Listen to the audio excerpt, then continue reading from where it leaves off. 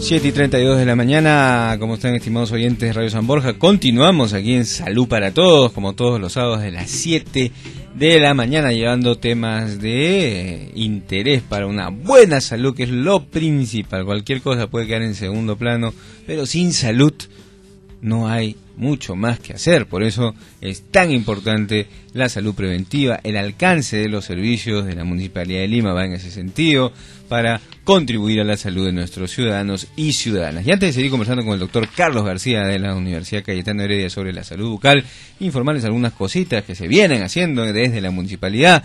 Está promoviéndose ahora la visita a las huacas y museos de los escolares, actividades para que los chicos se acerquen al valioso patrimonio de nuestra ciudad. La Municipalidad de Lima anuncia una nueva convocatoria para los programas educativos Vamos al Museo, Vamos a las Huacas y talleres de arte y arqueología a través de la Gerencia de Cultura de la Municipalidad Limeña. Esto va a ser una convocatoria, se van a iniciar eh, para que tengan contacto con, lo, con la municipalidad, diversos colegios de Lima en estos programas. Vamos a las huacas, vamos a los museos, vamos a hacer cultura en nuestra ciudad. 7 y 33 de la mañana, estamos aquí en Salud para Todos, llegando a los 42 distritos de nuestra gran ciudad. Estamos conversando con el doctor Carlos García de la Facultad de Estomatología de la Universidad Peruana Cayetano Heredia para saber más acerca de la salud bucal. Y antes de entrar, Carlos, a los datos de cómo está epidemiológicamente la salud bucal en nuestro país,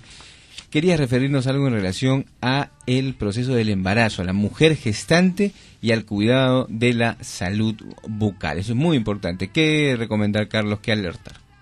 Gracias, Alex. Este tema en particular toma relevancia hoy en día para eh, la salud pública en relación eh, al abordaje temprano de eh, los problemas de salud.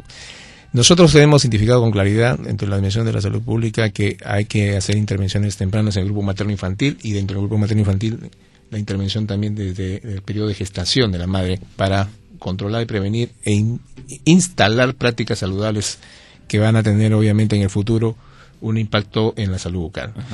Entonces hay que identificar un tema creo que es importante, poco conocido, de que hoy en día incluso hay evidencia científica que está eh, poniendo, digamos, eh, en, el debate la relación que hay de problemas de salud oral, específicamente otra vez la enfermedad periodontal, en las gestantes y el riesgo de parto prematuro. Como ustedes saben, tú sabes, es obviamente un, problema serio la enfermedad periodontal puede influir en un parto prematuro. Así es, puede tener un nivel de intervención de relación con el riesgo de incremento de parto prematuro en la gestante. Entonces, mm. ah, sobre este particular, lo que debemos tener, creo yo, presente desde una mirada de prevención y de intervención temprana es que para los problemas de salud bucal, no solo la enfermedad periodontal, sino otros, nosotros debemos generar modelos de atención ¿no?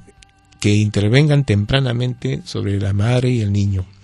Y en ese sentido, lo, el programa, por ejemplo, de control de gestantes, sabemos que dentro de la estructura del sistema público nuestro incluye un nivel de atención básica de salud bucal, también incluye un nivel de atención la madre, la gestante que va a un programa del Ministerio de Salud en alguna parte de nuestro país, cuando ingresa a ese, ese proceso de seguimiento y control, ¿incorpora también o debería? Sí, lo incorpora, está normado, pero como vamos a ver más adelante, hay tanta brecha de capacidad de oferta que entonces seguramente hay una población que no está siendo atendida adecuadamente.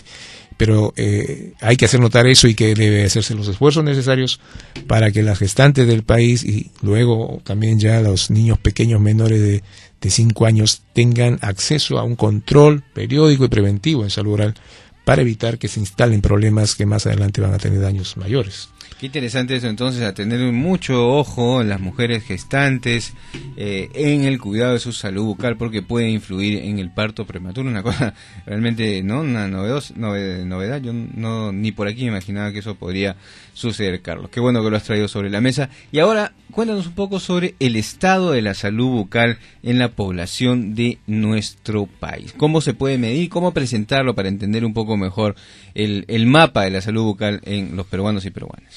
Gracias, Alexandro. Mira, Bueno, eh, epidemiológicamente hablando, eh, datos básicos eh, que pueden ser comparados con otros problemas de salud, eh, podemos hablar algo de la prevalencia de la enfermedad de caries dental o de la enfermedad periodontal. la ¿Cuánta gente tiene pre- ¿Cuántas cáncer, digo, perdón, este, enfermedad periodontal y O caries?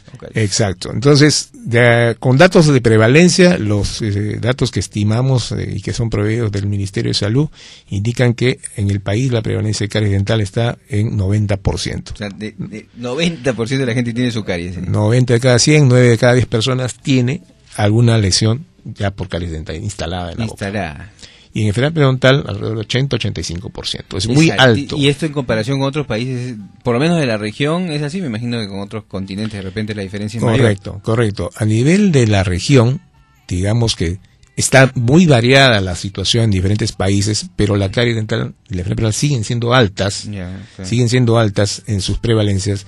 Sin embargo, la diferencia probablemente mayor esté en la magnitud de la afección. Con esto, ¿qué quiero decir? De ahí podemos, digamos, un poquito introducirnos a otro tipo de mediciones o indicadores, como el famoso índice CPOD, que, que en pocas palabras viene a medir justamente la magnitud De del daño que se ha establecido en las piezas dentarias o en la boca con respecto a caries dental, por ejemplo. Claro, Entonces, porque te podrían decir, sí, pues claro, el 90%, pero sí, pues todo el mundo dio una carecita porque, ¿no? De ahí que va al dentista, se la curan rápido, etcétera.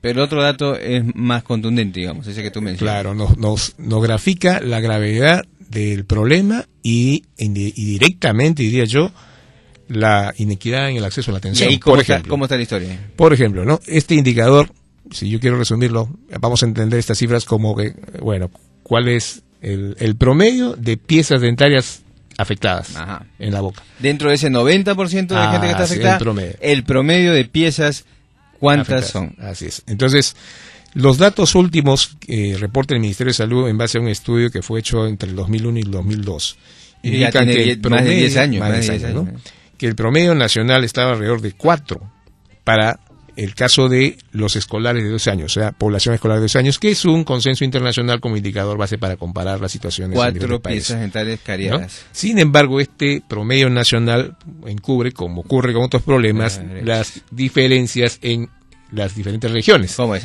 Entonces tenemos situaciones más dramáticas, como es el caso de Ayacucho, e Ica o Amazonas, que en ese mismo estudio reportan un promedio de entre 5 a 7 piezas afectadas O sea, por casi- niños casi el 12, doble, casi el 12 doble. años. Imagínense pues niños de 12 años que están en plena edad escolar, que ya están afectados con este nivel de, de gravedad. Y bueno, y tenemos de repente cifras menores, como el caso En entonces de otros departamentos de Lima, que está alrededor de tres. Entonces, aquí estamos observando que la, la magnitud, genera, los, digamos, los datos indican una inequidad tremenda Claro a nivel sí. del país, y lo que más llama a preocupación es que son poblaciones de escolar- muy jóvenes. Y no solamente podemos hablar ahora de 12 años, ya hay datos que indican que en menores de 4 años, Alessandro, ya la caries se instala. Ese- esos datos que tú nos estás trayendo son muy interesantes y tienen ya casi una década de vigencia. Ahora, ¿tú crees que la situación ha mejorado o ha empeorado? ¿Y cuándo vamos a tener más datos nuevos? Empezaría por la segunda parte de tu pregunta. Tenemos información de que ya en este momento está en ejecución un estudio, un segundo estudio epidemiológico similar con las características del, del que hemos referido, eh, que está en ejecución. Esperemos que se procesen los datos lo más pronto. Con respecto al, la, la primera parte era con respecto a Lo primero Sí. era saber que, si es que cuándo vamos a tener datos nuevos y Ya. Sobre esa base si tú crees que esto ha mejorado, o ha Mejorado, empeorado. así es. No sabemos, ¿no? Bueno, no se tiene obviamente la evidencia concreta, sin embargo, sin embargo, solo la estimación que uno puede hacer en, en función del crecimiento de nuestra población y que no ha estado acompañado obviamente con una intervención del sistema de salud adecuada, nos hace prever que la situación debe estar en una, una complicación mayor, definitivamente. Bueno, no debería, debería ser al revés, ¿no? Porque el, que el país mejora, hay más crecimiento, hay más presupuesto, debería tenderse a mejorar, ¿no? Pero ahí viene el problema de eh, eh, cómo se organiza el sistema, los servicios y todo ello. ¿no? Exacto, exacto. Entonces, eh, esto no acompaña, el crecimiento y las necesidades que se incrementan poblacionalmente no se están acompañando, obviamente, de la atención adecuada y el sistema tiene entonces sus falencias. Otro dato que podría graficar también la gran magnitud del acúmulo de necesidades es el siguiente. Durante el año 2010 y el 2011, el Ministerio de Salud, a través del Seguro Integral de Salud, generan reportes estadísticos de la morbilidad, las causas de morbilidad en el país, y se identifica con claridad que los problemas... morbilidad es enfermedad. enfermedad, ¿no? Acá tengo datos que indican que los problemas justamente asociados a eh, la boca, sea a nivel de sus estructuras duras como los dientes o blandas, otras estructuras de la boca, están ocupando el segundo y tercer lugar como causas más frecuentes de morbilidad que han requerido de solicitud de atención. Ah, ¿Y la primera y la segunda figura? Primeras eh, indican infecciones respiratorias y infecciones del aparato gastrointestinal. Y de ahí viene y ahí vienen los problemas relacionados con la salud. Mira, qué interesante. Ese dato sí es muy bueno porque, claro, siempre es las infecciones estomacales y respiratorias siempre generalmente tienen primer lugar de consulta.